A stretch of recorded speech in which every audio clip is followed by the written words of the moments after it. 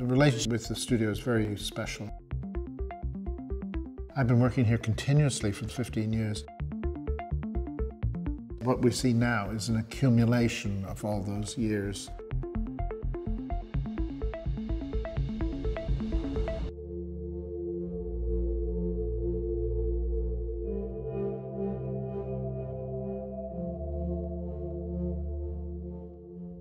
Of the big breakthroughs for me in my work was when I realized the impact that color had on the drawings.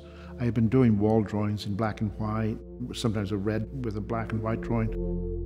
I think of them essentially as having sculptural space and not painterly space. I realized that it was possible to make an incredible transformation of how people responded to the image by the inclusion of color. It started with me painting the room's colors. The paintings have come out of installations. The color specifies the image. That gives the object a kind of identity. When I started making the drawings, my whole idea was to have a styleless way of drawing, which is why I drew them in tape, so there was no sign of my hand. I didn't invent anything, I didn't change anything. I drew the object exactly as I saw it, and I kind of withdrew from it.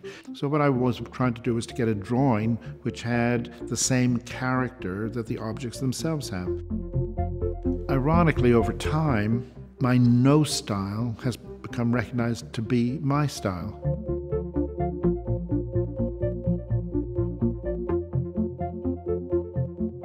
I really discovered the tape in the 60s. But when I went to make the drawings of objects, I remembered the tape and went back to it. The tape is a very physicalized way of drawing. It's not making a mark, it is actually physically laying down the line. That sense of the physicality of the world is really very important to me, which is one of the reasons why I used real objects. My early work was really to do with sculpture. I got interested in objects, and part of it was trying to understand what was the difference between an object that was not a sculpture and an object that was a sculpture. All the things we normally make, we make them because we have a purpose. Everything is functional. And so I tried to make sculptures that engage the question of usefulness.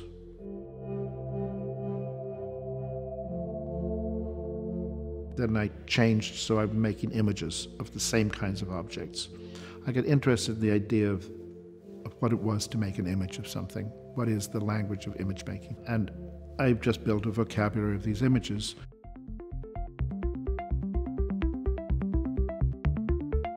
Some objects stay relevant or become relevant again to me. These are beautiful. The colors are fabulous.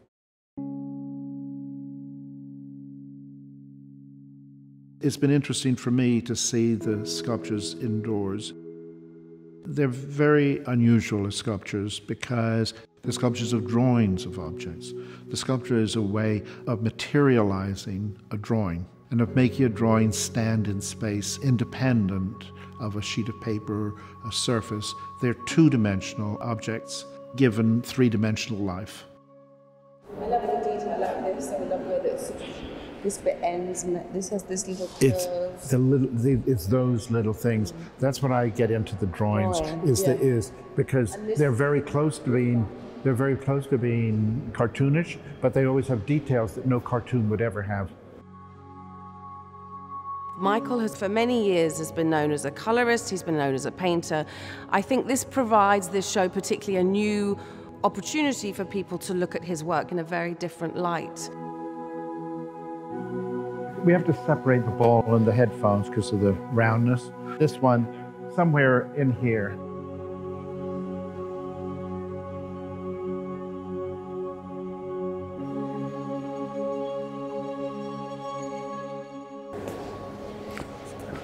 See, this was always my, my idea, again, that you can step through here.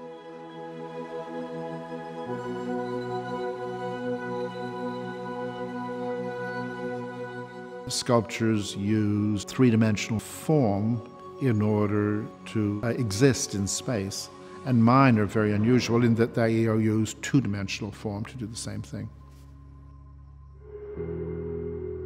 They are giant things.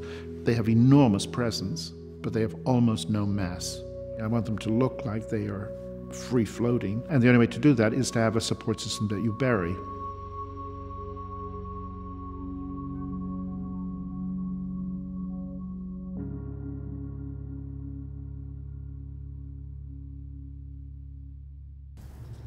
I love the twist. The twist is so beautiful, isn't it? Beautiful.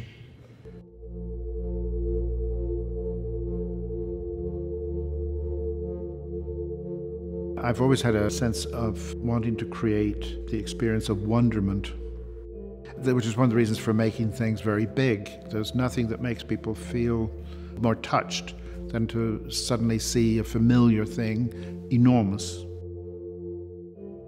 When the sculptures have been shown outdoors, one of the things I feel very successful is they're essentially transparent. And so if you have them in a landscape, the landscape runs right through them. And it places the object within the landscape in a very particular way. It becomes part of the landscape. And as you move around, the bit of the landscape that's in the object changes. Whereas when you put them in the gallery, you see the images quite differently. And you really get a sense that these are sculptures of drawings. And the sense that you can enter the world of the drawing it seems very potent. When I did the room paintings, where I painted the entire room and painted images on the walls. I felt very strongly that what I was doing was essentially making a painting that people could walk into. I feel with the sculptures, when particularly seeing them indoors, is that you're in the world of the drawing. You can see through them, you can walk around. And of course, because they're two dimensional, if you move to the side, they disappear entirely and become a single colored line. I think what I've been trying to play with in the language of two dimensions is clearer in this exhibition than ever before. One of the things that interested me from the beginning was ordinariness. If there's any magic in the world, anything special, it's in the most simple things. It's just a question of recognizing it.